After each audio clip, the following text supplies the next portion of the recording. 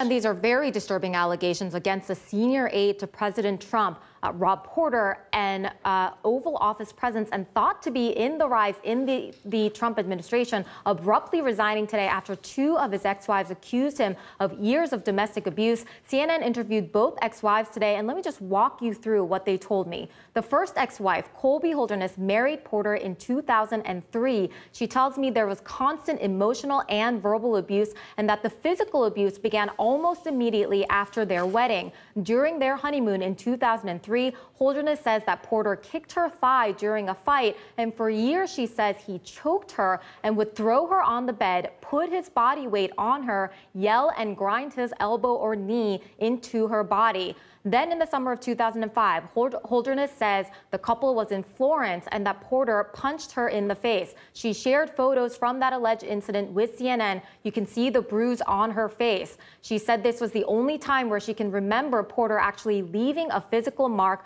on her body. And Porter has denied these allegations, which we'll get into uh, a little bit later. Now, Jennifer uh, Willoughby, this is the second ex-wife who married Porter in 2009, 2009 rather, told CNN that she also endured deep emotional abuse from her ex-husband. There was an incident in 2010, for example, when Willoughby said Porter punched a glass surface on their front door, and eventually the police got involved. And she says the police encouraged her to take out a protective order against him, and CNN has obtained and reviewed a copy of that order. And then in the December of 2010, Willoughby says that she and Porter had a fight and she went to take a shower and she tells me that he grabbed her from the shower by her shoulder, making her feel very frightened.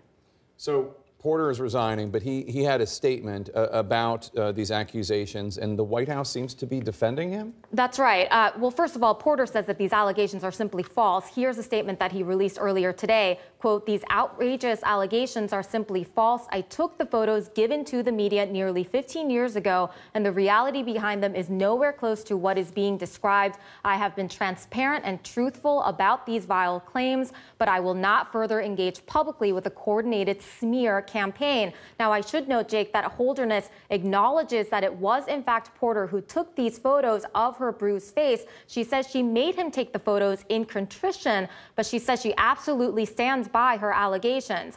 And in terms of the fallout at the White House right now, we are told that Porter resigned over the objections of White House Chief of Staff John Kelly. Now, Kelly said in a statement that Porter is, quote, a man of true integrity and honor, and I can't say enough good things about him. And two things worth keeping in mind, Jake, too, uh, as we learn more about this story, is that one, Porter is a top aide inside the White House who had uh, consistent contact with President Trump himself. And two, we are told by several sources that Porter has been dating White House Communications Director Hope Hicks, one of the most influential aides in the West Wing. And you're told about the ex wife speaking to the FBI. That's right. Uh, both of the ex-wives actually tell me that they were interviewed by the FBI regarding Porter's security clearance, and both Holderness and Willoughby tell me that they were honest with the FBI when they were being interviewed about their troubled marriages to Porter, and basically shared with them, shared with the FBI details of the abuses that they say they suffered from Porter. And notably, Jake, a source tells my colleague Jim Acosta that Porter ran into trouble obtaining a security clearance because one of his ex-wives raised the issue of domestic violence with the investigators. And, and uh, just to underline this, that means that the White House knew about this uh, because the FBI interviewed the ex-wives on behalf of Porter, on behalf of the, the White House. You would assume so. We don't know right now to what extent, but you can safely assume, I think, that the White House would have been aware of these issues having been raised to the FBI. All right. MJ Lee also wrote about this on CNN.com, and there, there is another woman also with her allegations of her own. MJ, thanks so much. Uh, appreciate it. Let's uh, dive into this with the, the panel. First of all, let me just start with Chief of Staff John Kelly's uh, statement um, to uh, the Daily Mail when they broke this story yesterday. Rob Porter is a man of true integrity and honor, and I can't say enough good things about him. I am proud to serve alongside him. Um, no, he's not. No.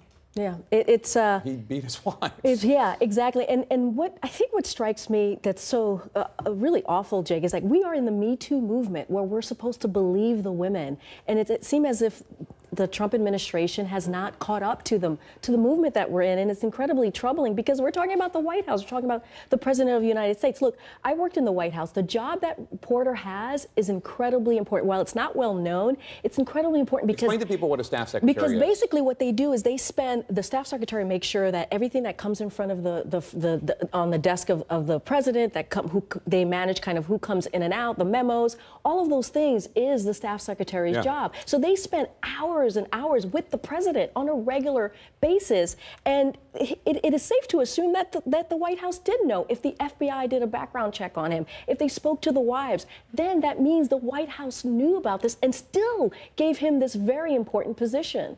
It's interesting, Susan, because you and I have been in this town for a while. We know people that apply to get in jobs in the White House, and we hear them going through the background check and did they smoke a joint in college and do they do this? And and anything can come back to haunt you, and anything until this administration really could could block you. But uh, apparently, the FBI knew, and the White House knew about these charges. But uh, according to the reporting that we've seen done, he did not get a security clearance. And it's interesting that he was able to continue to do this job without a security clearance, because of course I'm sure he was handling a lot of the material that goes to the president is of course classified. So that's an interesting point. You know, he, he of course Rob Porter denies the allegations. But, but what surprises me about what House says is not that they is that they accept him and not the women, as opposed to saying we don't know what the story is. We think this is a serious issue, which is where Senator Hatch, a former employer of Rob Porter, ended up saying after putting out a very positive statement. He came back and put down one that that walked back a bit and said we take these issues seriously. This should be looked at. That would be this. That would be a justifiable position for the White House to say we don't know what happened. We we think it's important to look at it. But instead, they went all in on, on the side of of Rob Porter. And in fact, said that he he resigned over the objections Yes. of John Kelly Right. and others. Yeah. Right. Yeah. So, um, uh, Kristen, let me, let me ask you uh, because uh, Susan just brought up Senator Orrin Hatch, and his original statement uh, attacked the media for reporting this these accusations and and seemed to attack the ex-wives. It said, "quote It's incredibly discouraging to see such a vile attack on such a decent man. Shame on any publication that would print this, and shame on the politically motivated, morally bankrupt character assassins that would attempt." to sully a man's good name. Now, he has amended, and I will, in the interest of fairness, read he wrote, I am heartbroken by today's allegations. This is today. I do not know the details of Rob's personal life. Domestic violence in any form is abhorrent. Um, but I am perplexed by the first statement. Why issue that first statement? I'm very glad that the senator amended his position and issued the second statement because I think in the case of that first statement, what you're seeing is someone who doesn't know the details of someone's private life, who's maybe only interacted with them in a professional setting, thinks highly of the job they have done in that professional setting, and feels an instinct to defend someone that they, they know and love. But I, I think Susan is right that in this moment, a- a minimum standard should be to say, let's all take a breath and actually investigate this rather than attacking someone who's made these allegations. That that's the sort of progress that theoretically we should be making in this Me Too movement era. That doesn't necessarily mean that anyone who makes allegations is instantaneously believed 100% and the guy is always guilty, but that we should be in the business of taking a breath and taking things seriously. Absolutely.